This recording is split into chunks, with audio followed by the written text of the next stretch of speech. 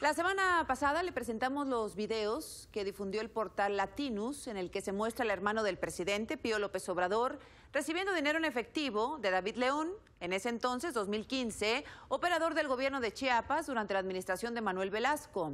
Hoy circuló esta fotografía en la que aparecen de nuevo Pío López Obrador y David León, acompañados, entre otros, del hoy senador de Morena, Eduardo Ramírez, quien también, como León, fue funcionario en el gobierno de Manuel Velasco.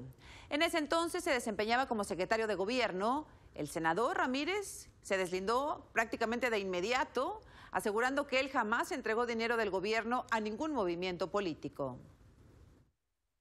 Primero yo no tengo vela en ese. Segundo, fue una foto tomada cuando era secretario de gobierno. Fue la fundación de Morena en el estado de Chiapas.